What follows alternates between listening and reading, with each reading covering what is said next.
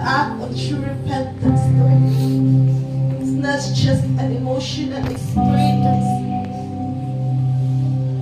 but a total transformation and change of direction in life. We thank you for this wonderful morning, oh God. Kaya ikaw nagapamuhan sa matag usa ka kasingkas. Padayon ka, O Diyos, nga magapamuhan even sa among pagpanguli, O God. sapato na imong gipabuhat alang ka na mo. Glory to your name, Father. Glory to your name, O God. Kanimo lamang namo kinapalit, tanan pagpasidungo, tanan himaya,